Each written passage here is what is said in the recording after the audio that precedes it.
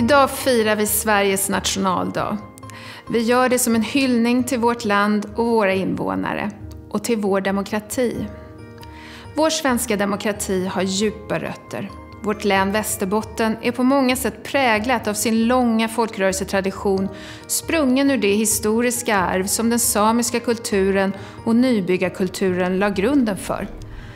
Att tillsammans hitta lösningar på problem, att respektera olikheter och lyssna till andras åsikter och perspektiv och att alltid sträva framåt.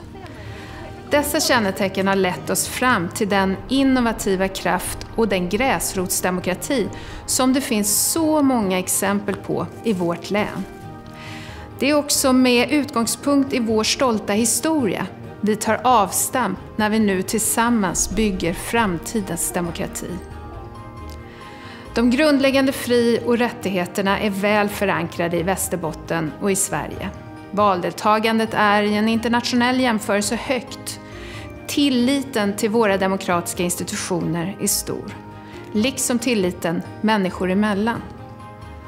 I ett Sverige som håller ihop står de gemensamma institutionerna starka och deras verksamhet präglas av öppenhet. Att den representativa demokratins institutioner såsom kommuner, regioner, myndigheter, regering och riksdag är välfungerande, det är avgörande för en levande och uthållig demokrati.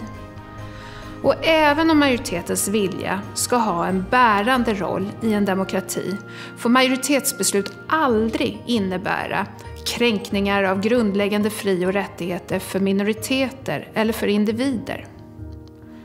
Demokratin, som i Sverige är blott 101 år gammal, är inget givet eller permanent tillstånd, utan något värdefullt som måste erövras av varje ny generation. Den 6 juni 1809 skrev riksdagen under den regeringsform som la grunden för det moderna Sverige och för demokratins genombrott i vårt land. Och 111 år senare röstade riksdagen för allmän och lika rösträtt.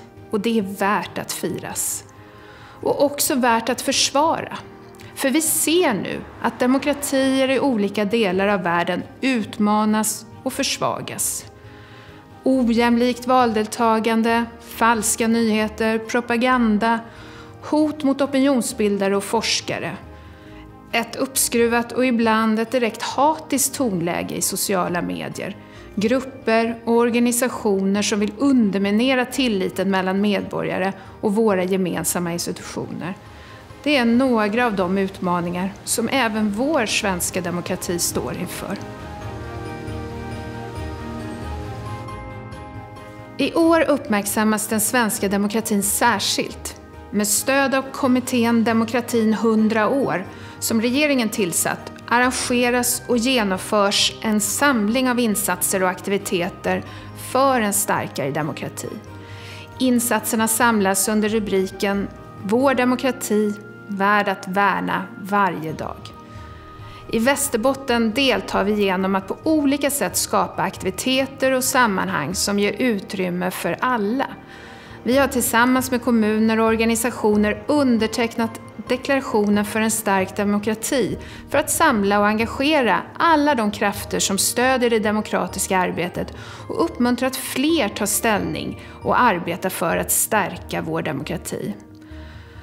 Som ett led i arbetet kommer också kommitténs demokratistuga att besöka Robertsfors och Dorotea i augusti senare i år. I Demokratisugan kommer ni kunna ta del av mindre seminarier, workshops och liknande aktiviteter. Aktiviteter som har utformats och planerats lokalt. För demokrati bygger vi tillsammans, där vi bor och där vi verkar. Det är också ett förhållningssätt som handlar om hur vi bemöter och är mot varandra.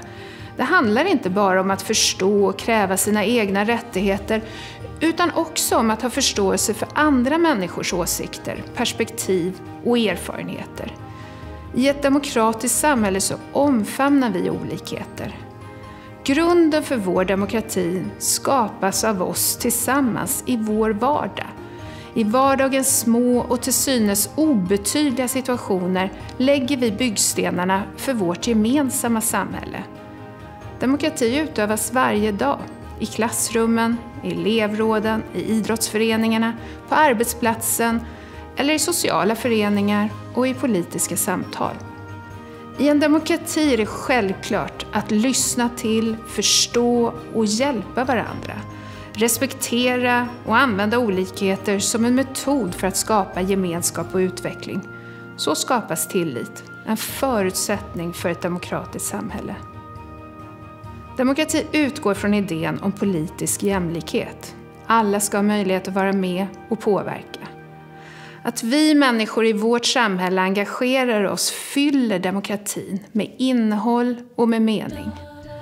Därför är det viktigt att var och en av oss använder vår rösträtt, bildar oss en egen uppfattning i samhällsfrågor och kritiskt värderar nyheter och inlägg på våra sociala medier. Att vitalisera demokratin är nödvändigt idag, precis som för hundra år sedan. För den är inte statisk, utan befinner sig i ständig utveckling. Och Sveriges nationaldag är ett lämpligt tillfälle att uppmärksamma att demokratin ständigt måste vårdas, värnas och utvecklas. För mig är det viktigt att Västerbotten är ett län där alla kan växa och känna sig delaktiga i länets utveckling och framtid. Vår tids utmaningar, inte minst den mycket omfattande klimatomställningen, kan vi bara klara om människor känner sig inkluderade och delaktiga.